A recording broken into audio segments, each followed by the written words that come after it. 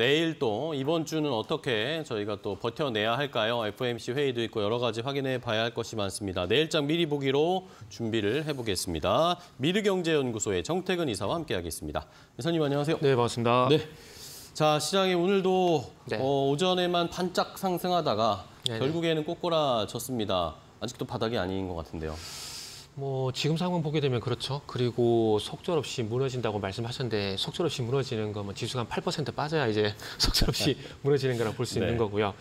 어, 일단 이런 말씀드린 이유가 어, 하락의 끝자락으로 다가가고 있는 상황인데 음. 어, 조금 전에 말씀드렸던 이 속절없이 무너지는 그런 현상이 나오고 끝이 날 것인가 안 나오고 끝이 날 것인가 를 솔직히 잘 모르겠어요. 그리고 지금은 어, 굳이 핑계를 대자면은 2차 전지가 그냥 시장의 투심을 무너뜨렸다. 음. 뭐 표면적인 이유는 그렇고요. 그리고 뭐 그냥 제가 하고 싶은 얘기는 그냥 하락하니 시장이 빠지니까 그냥 빠진다라고 보는 게 맞는 겁니다. 그래서 지금은 딱히 이유가 없다라 보시면 될 것 같아요. 그냥 차라리 뭐 핑계는 뭐 2차 전지 이렇게 좀 보시면 될 것 같고 그리고 지금 차트 제가 지수 차트 좀 보면서 또 하나 좀 말씀 좀 드려볼게요. 어, 최근에 지수를 보게 되면 이제 9월 18일 한 9월 15일 정도부터 보게 되면은 어, 일단 이때 당시에 이 지수가 2,514포인트였거든요. 그래서 여기서 좀 하락을 하다가 이제 날짜를 보게 되면은 10월 10일경 해가지고 다시 반등이 나왔다가 지금 다시 소위 말하는 N자형 하락이 나오고 있는 상황이거든요. 상황인데 제가 이걸 왜 짚어드리냐면은 어, 제가 주말 같은 경우는 한- 주말 같은 경우도 지수를 한번 과거를 한번 돌이켜서 좀 보고 그랬었는데 그러니까 코로나 때는 안 봤어요. 코로나 때를 봤는데 코로나 때 같은 경우도 지금과 같이 N자형으로 이제 하락이 좀 나왔었거든요. 지금 화면 보신 바와 같이 요 구간이에요. 요 구간인데 제가 아까 전에 이게 변동성이 커지면서 그 그러니까 속절없이 무너지는 그런 현상이 나오면서 끝이 날 것인가 아니면 안 나오면 끝이 날 것인가 그거는 모르겠다 말씀드렸는데 코로나 때 같은 경우는 이제 마지막 하락 때가 언제였냐면 3월 19일이거든요. 이때 당시에 코스피만 8.3% 빠졌고 그리고 코스닥은 11% 빠졌어요. 네. 그러니까 어찌 보면 전 개인적으로 지금 저는 이 지수 그 만약에 코로나 때 하락과 비슷하게 가게 된다라면은 저는 개인적으로 한 요 구간에 와 있다고 좀 보고 있거든요.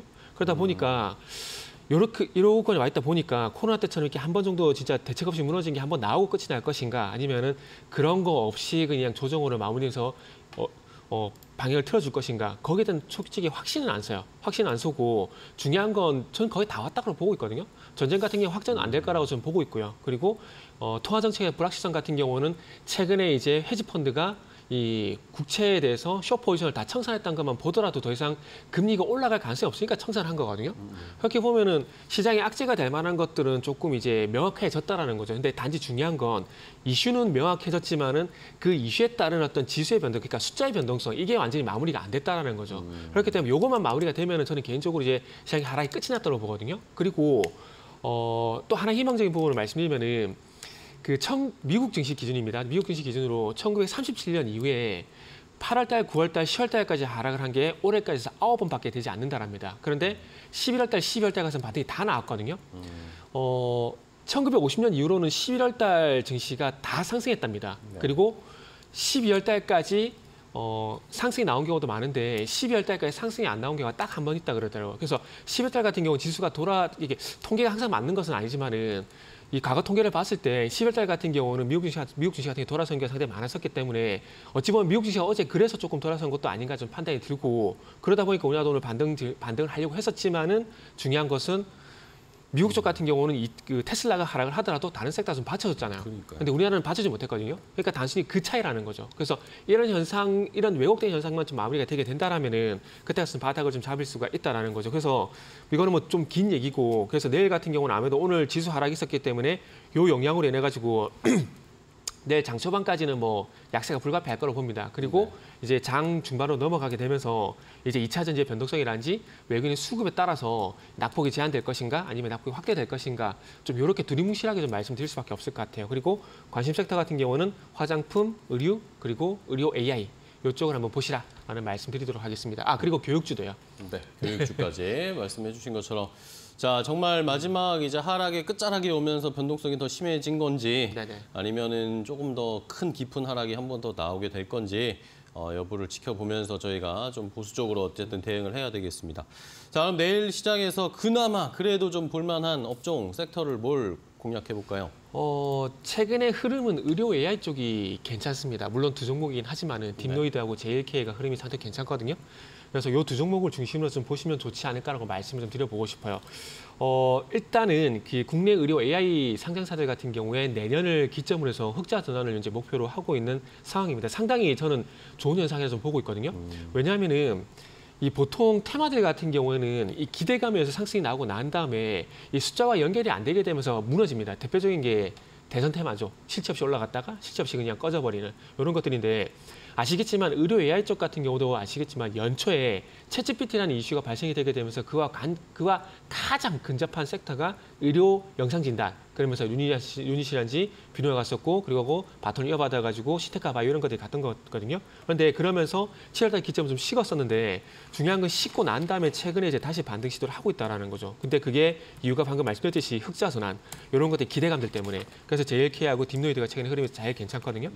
근데 이 흑자 전환 목표 가 근거가 되는 게 이게 어, 해외 사업 확대 그리고 혁신 의료기기 혁신 의료기술 선정이 되게 되면서 네. 이게 이제 숫자가 찍히기 시작을 했다라는 거죠. 그래서 이 JLK라든지 뭐 딥노이드 같은 경우는 어쨌든 아시겠지만 이제 어 제- 특히나 JLK, JLK 같은 경우는 이- 국내 첫 의- AI 의료기기 발음하기가 이렇게 쉽- 쉽지 않네요. 국내 첫 AI 의료기기 보험수가 적용 대상이 됐습니다. 그리고 미국 FDA 허가도 신청 준비를 하고 있는 상황들이고요. 그래서 이런 인해 가지고 어쨌든 좀 반등이 나온 상황들이기 때문에 네네. JLK 그리고 딥노이드 한번 보시면 좋을 것 같습니다. 좋습니다. 자, 의료 AI 쪽을 좀 공략을 해보자라는 의견 주셨고요. 마지막으로 공략 내일 시장 시초가에 볼 만한 종목은 간단하게 좀 볼까요? 네. 어, 간단하게 보려고 좀 말이 길었습니다. 애니 능률입니다.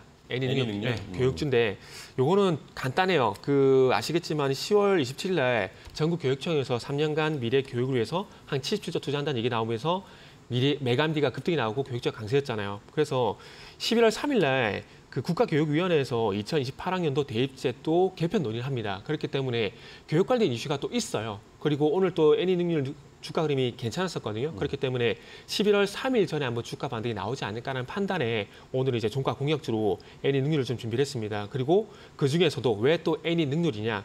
어, 아시겠지만 지난 6월 달에 정부에서 킬러 문항 배제를 발표했었거든요.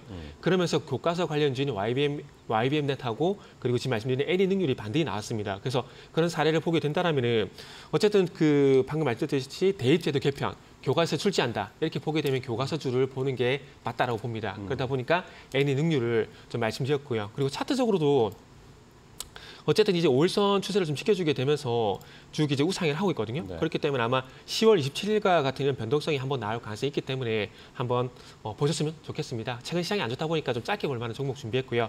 그래서 목표가는 일단 6,500원이고요. 손절가는 5,100원 제시하도록 하겠습니다. 네, 알겠습니다. 자, 애니 능률 교육주도 한번 살펴볼 필요가 있다. 정부 정책과 관련된 종목이고요. 그리고 앞서서는 어, 의료 AI 쪽을 좀 미리 살펴볼 필요가 있다라는 의견 주셨으니까요. 시청자분들 내일 시장에서 잘 한번 대응을 해 보셨으면 좋겠습니다. 자, 어쨌든 어려운 시장이지만 그래도 이제 저희 이, 이, 이 정택은 이사는 하락의 끝물이지 않을까라는 그런 예상을 해 주셨으니까 저희도 한번 희망을 걸고 내일 시장 지켜보도록 하겠습니다. 오늘 좋은 전략과 어, 종목까지 소개해 주셔서 감사하고요. 이사님 다음 시간에 또 뵙도록 하겠습니다. 네. 고생 많으셨습니다. 네, 감사합니다. 고맙습니다.